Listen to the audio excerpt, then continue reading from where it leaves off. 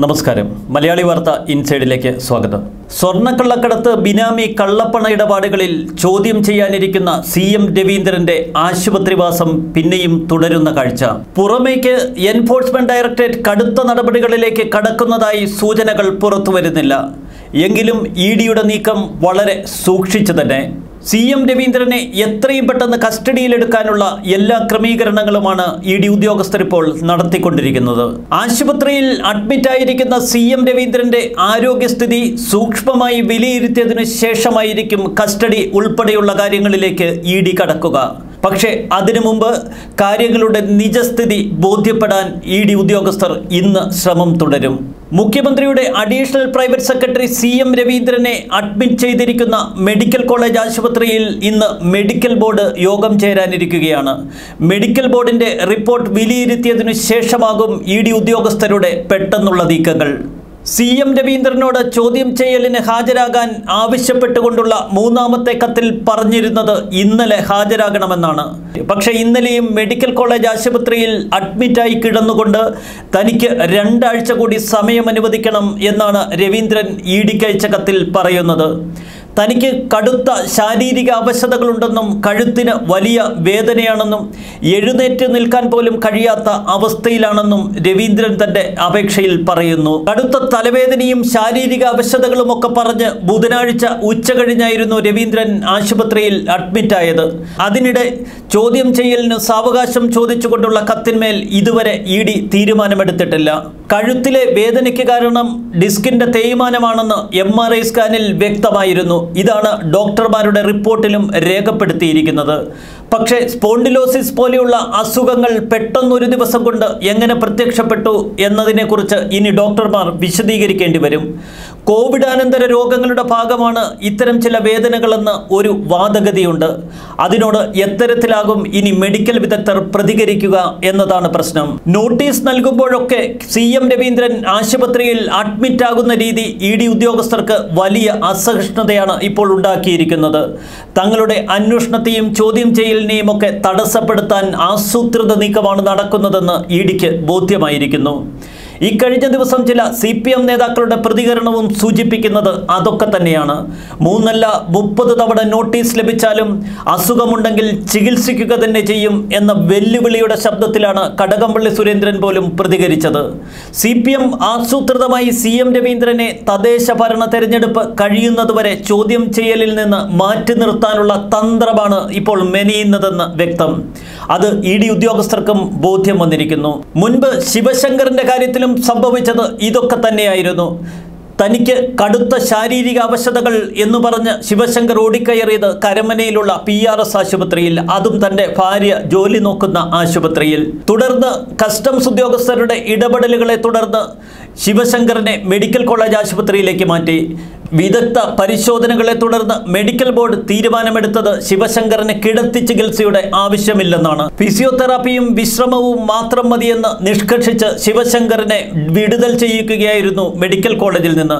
പക്ഷേ അതിനകം തന്നെ ഹൈക്കോടതിയിൽ നിന്ന് കുറച്ച് ദിവസത്തേക്കുള്ള മുൻകൂർ ജാമ്യം ഒപ്പിച്ചെടുക്കാൻ ശിവശങ്കറിന് കഴിഞ്ഞു. മെഡിക്കൽ കോളേജിൽ നിന്ന് ഇറങ്ങിയ ശിവശങ്കർ നേരെ പാഞ്ഞത് വഞ്ചൂരുള്ള ഒരു ആയുർവേദ ആശുപത്രിയിൽ. അവിടെ അഭയം തേടിയെങ്കിലും ഹൈക്കോടതി അനുവദിച്ച ജാമ്യ സമയം കഴിഞ്ഞതോടെ കസ്റ്റംസ് ഉദ്യോഗസ്ഥർ പാഞ്ഞെടുത്തു. പിന്നെ കസ്റ്റഡിയിലെടുത്ത് ശിവശങ്കറിനെ വരുതിയിലാക്കി. അവർ പിന്നീട് കസ്റ്റഡിയിൽ നിന്ന് അറസ്റ്റിലേക്കും റിമാൻഡിലേക്കും കൊണ്ടുപോകുന്ന കാഴ്ചയാണ് നമ്മൾ കണ്ടത്. സമാനമായിരിക്കും രവീന്ദ്രന് സംഭവിക്കുക എന്നതും വ്യക്തം. ഇത്തരം സാഹചര്യങ്ങളിൽ വേണം ഇന്ന് മെഡിക്കൽ കോളേജ് സൂപ്രണ്ടും നാല് വകുപ്പ് മേധാവികളും അടങ്ങുന്ന മെഡിക്കൽ ബോർഡിന്റെ ഇന്നത്തെ യോഗത്തെ നമ്മൾ കാണാൻ. ഇന്നത്തെ മെഡിക്കൽ ബോർഡ് തയ്യാറാക്കുന്ന റിപ്പോർട്ടിന്മേലായിരിക്കും ഇനി ഇ ഡി ഉദ്യോഗസ്ഥരുടെ തുടർ നടപടികൾ. മെഡിക്കൽ ബോർഡ് കൈമാറുന്ന റിപ്പോർട്ട് വിശ്വസനീയമല്ല എന്ന് ഇ ഡി ഉദ്യോഗസ്ഥർക്ക് തോന്നിയാൽ അവർക്ക് പ്രത്യേക മെഡിക്കൽ ബോർഡ് രൂപീകരിക്കാനുള്ള എല്ലാ സ്വാതന്ത്ര്യവുമുണ്ട്. അങ്ങനെയെങ്കിൽ ഒരു വിദഗ്ധ മെഡിക്കൽ സമിതിയെ നിയോഗിച്ച് രവീന്ദ്രനെ വീണ്ടും പരിശോധിക്കാനും കൃത്യതയോടെ കൂടുതൽ വിവരങ്ങൾ തിരക്കാനും ഇ ഡി ഉദ്യോഗസ്ഥർ ശ്രമിക്കും. ഗുരുതരമായ രോഗാവസ്ഥയിലല്ല രവീന്ദ്രൻ എന്ന് വ്യക്തമായാൽ ഡോക്ടർമാർക്കെതിരെ ക്രിമിനൽ ഗൂഢാലോചനയും വ്യാജരേഖ ചമയ്ക്കലും ഉൾപ്പെടെയുള്ള വകുപ്പുകൾ ചുമത്തി കേസെടുക്കും. ഇക്കാര്യം ഡോക്ടർമാരുമായുള്ള ചർച്ചയിൽ ഇ ഡി ഉദ്യോഗസ്ഥർ ഇതിനകം തന്നെ വ്യക്തമാക്കി കഴിഞ്ഞു.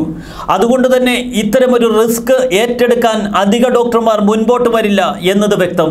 സി എം രവീന്ദ്രന് അസുഖമുണ്ടെങ്കിൽ ചികിത്സിക്കട്ടെ എന്ന് തന്നെയാണ് ഇ ഡി ഉദ്യോഗസ്ഥർ പറയുന്നത് പക്ഷേ രോഗം വ്യാജമാണെങ്കിൽ അതിന്മേൽ കർശന നടപടികൾ ഉണ്ടാകും സ്വർണക്കടത്ത് കേസ് മുഖ്യമന്ത്രിയുടെ ഓഫീസിലേക്ക് കുതിച്ചെത്തുന്നത് തടയാൻ തന്നെയാണ് രവീന്ദ്രന്റെ ഈ ആശുപത്രിവാസമെന്ന് ഇ ഡി ഉദ്യോഗസ്ഥർ ശക്തമായി കരുതുന്നു. അതുപോലെ തന്നെയാണ് പ്രതിപക്ഷ നേതാവിന്റെയും ബി ജെ പി നേതാവിന്റെയും ഒക്കെ പ്രതികരണങ്ങളിൽ നിന്ന് വ്യക്തമാകുന്നത്. രവീന്ദ്രന്റെ ആരോഗ്യസ്ഥിതി വിലയിരുത്താൻ ദില്ലിയിലെ എയിംസിൽ നിന്ന് പ്രത്യേക മെഡിക്കൽ സംഘത്തെ വരുത്തണമെന്നാണ് പ്രതിപക്ഷ നേതാവ് രമേശ് ചെന്നിത്തല പോലും ആവശ്യപ്പെട്ടത്.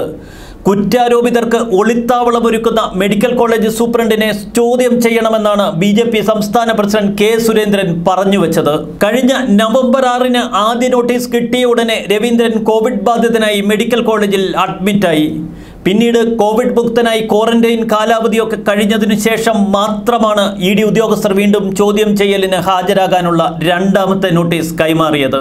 എന്നാൽ രണ്ടാമത്തെ നോട്ടീസ് കൈപ്പറ്റിയ ഉടൻ തന്നെ കോവിഡാനന്തര ആരോഗ്യ പ്രശ്നങ്ങളുടെ പേരിൽ വീണ്ടും മെഡിക്കൽ കോളേജിൽ അഡ്മിറ്റായി സി എം രവീന്ദ്രൻ. അന്ന് ഇ ഡി ടീം പ്രയോഗിച്ചത് മറ്റൊരു തന്ത്രമായിരുന്നു.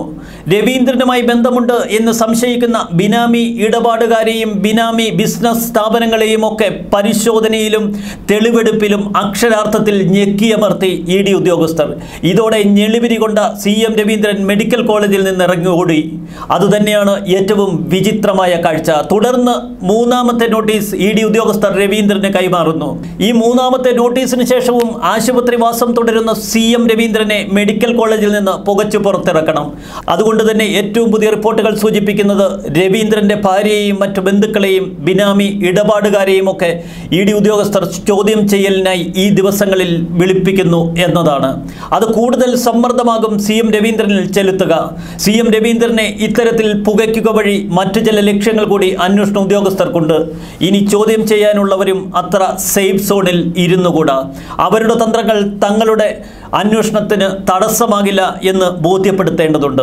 ഇപ്പോൾ ഇ ഡി ടീമിന് മുന്നിലുള്ള ചില സാധ്യതകൾ ഇങ്ങനെയാണ്. ശ്രീചിത്രയിലെയോ സൈനിക ആശുപത്രിയിലെയോ ഡോക്ടർമാരെ ഉൾപ്പെടുത്തി മറ്റൊരു ബോർഡിനെ അടിയന്തരമായി നിയോഗിക്കാം. ഗുരുതര ആരോഗ്യ പ്രശ്നങ്ങളില്ലെങ്കിൽ ആശുപത്രിയിൽ നിന്ന് നേരിട്ട് സി എം രവീന്ദ്രനെ കസ്റ്റഡിയിലെടുക്കാം. ആശുപത്രിയിൽ വെച്ച് തന്നെ മൊഴിയെടുപ്പ് നടത്താം. രവീന്ദ്രന് ഡിസ്ക് തകരാർ കാരണമുള്ള സ്പോണ്ടിലോസിസ് റാഡിക്കുലോപ്പതിയാണ് ഇപ്പോൾ റിപ്പോർട്ട് ചെയ്യപ്പെട്ടിരിക്കുന്നത്. ചികിത്സാകാലം ഡോക്ടർമാർക്ക് തീരുമാനിക്കാവുന്നതാണ്. നില മെച്ചപ്പെട്ടാൽ ഒരു സെക്കൻഡ് പോലും കിടത്തില്ല. പക്ഷേ ഈ ഒരു രോഗാവസ്ഥ പരിപൂർണമായി ചികിത്സിച്ചു മാറ്റണമെങ്കിൽ മാസങ്ങൾ എടുക്കും. അതുകൊണ്ട് തന്നെ ഇത്തരമൊരു രോഗത്തിന്റെ പേരിൽ രവീന്ദ്രനെ ഒരുപാട് കാലം ആശുപത്രി വാസത്തിന് കേന്ദ്ര അന്വേഷണ ഏജൻസികൾ അനുവദിച്ചു കൊടുക്കില്ല. കൂടുതൽ കടുത്ത നടപടികൾ ഏത് മണിക്കൂറിൽ വേണമെങ്കിലും റിപ്പോർട്ട് ചെയ്യപ്പെടാം.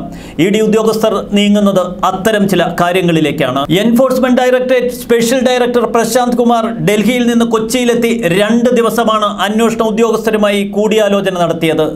ഇനിയുള്ള നീക്കങ്ങൾ ഡൽഹിയിലെ ആ മേലുദ്യോഗസ്ഥരുടെ നിർദ്ദേശങ്ങൾക്കനുസരിച്ച് തന്നെ. കൃത്യമായ കണക്കുകൂട്ടലോടെ വ്യക്തമായ പ്ലാനിങ്ങോടെ അന്വേഷണം കുതിച്ചു മുന്നോട്ട് പോകുന്ന കാഴ്ച തന്നെ ഇപ്പോഴും നമുക്ക് കാണാൻ കഴിയുന്നു. ന്യൂസ് ഡെസ്ക് മലയാളി വാർത്ത ഇൻസൈഡ്.